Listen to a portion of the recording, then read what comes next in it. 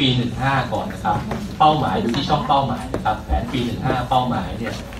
ผมขออนุญาตยกตัวอย่างเรื่องแสงอาทิตย์แล้วกันแสงอาทิตย์เนี่ยเป้าหมายอยู่ได้แค่6,000นะครับ แต่ว่ามาดูช่องแผน AE ในปี 18 ผมขออนุญาตดูที่เป้าหมายก่อนนะฮะว่าเปรียบเทียบระหว่างปี 15 กับแผนปี 18 ก่อนนะครับ ปี 15 เนี่ยอย่างโซล่าร์อยู่ที่6,000 แต่เป้าของปี 18 เนี่ยอยู่ที่ 15,574 นะครับ อันนี้ก็จะเห็นชัดว่าตัวโซล่าเนี่ยมันมันเพิ่มขึ้นเยอะเลยนะครับตัวต่อไปนะฮะชีวมวลครับ5,570 นะครับ แผนในปี 18 เนี่ยออยู่ที่ 3,496 เออโทษทีครับ 5,786 นะครับ อันนี้ก็จะเห็นว่าเพิ่มขึ้น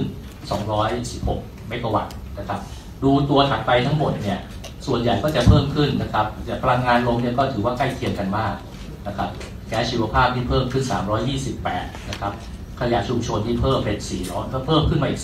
400 นะฮะ จากเดิม 900 เอ้ย 500 เพิ่มเป็น 400 นะครับขยะอุตสาหกรรมนะฮะก็เพิ่มขึ้น แต่ที่ลดลงเนี่ยก็จะมีพลังงานขนาดเล็ก ลดลงไป 188 สาเหตุที่ลดเนี่ย เพราะว่าเรื่องพลังน้ำขนาดเล็กเนี่ย ปัจจุบันเนี่ยพื้นที่ที่เราจะดำเนินการเนี่ยค่อนข้างจะมีปัญหานะฮะในเรื่อง การใช้ขออนุญาตในพื้นที่ป่า ส่วนใหญ่จะอยู่ในพื้นที่ป่าไม้นะหรือเขตอุทยานต่างๆนะครับ เราก็เลยไม่ได้ใส่เข้าไปในแผนตัวนี้นะครับ ทีนี้เอ่อไอ้ที่ 188 ที่มีอยู่เนี่ยก็คือที่เราดำเนินการไปแล้ว ที่ยังอยู่ในแผน 188 นี่คือดำเนินการไปแล้วป่าไม้หรือว่าเขตพื้นที่ต่างๆ อนุญาตแล้ว แต่ว่าในแผน 18 เนี่ยเราไม่ได้ใส่ตรงนี้ไว้นะครับ ทีนี้มาดูตัวพลังน้ำขนาดใหญ่ตามแผน นะครับเป้าหมายของปี 18 อยู่ที่ 2,918 อันนี้ก็คือส่วนที่ได้ดำเนินการแล้วนะฮะอันนี้ส่วนใหญ่จะเป็นของการไฟฟ้าฝ่ายผลิตน่าจะเป็นพวกไฟฟ้าสูบกลับต่างๆนะครับแต่ตัวใหม่เนี่ยในแผนที่ส่วนที่เหลือจะจะจะยังไม่มีการดำเนินการ แล้วก็สุดท้ายเนี่ยก็เรื่องพืชพลังงาน อันนี้ไม่ได้ใส่เอาไว้นะครับ เพราะว่า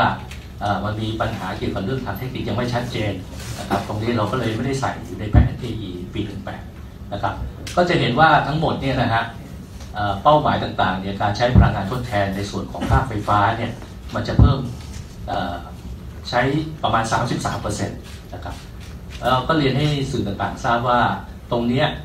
นะฮะเป้าหมายต่างๆเนี่ยเราเพิ่มขึ้นเราไม่ได้ลดลงนะครับครับถึงตรงนี้มีใครสอบถามได้ไหมครับ33%ของการใช้ของกำลังผลิตไฟฟ้าหรือว่า 33%ของพลังงานทั้งหมดทั้ง สามเอ่อไม่ไม่ใช่ฮะหมายถึงสัดส่วนที่ใช้พลังงานทดแทน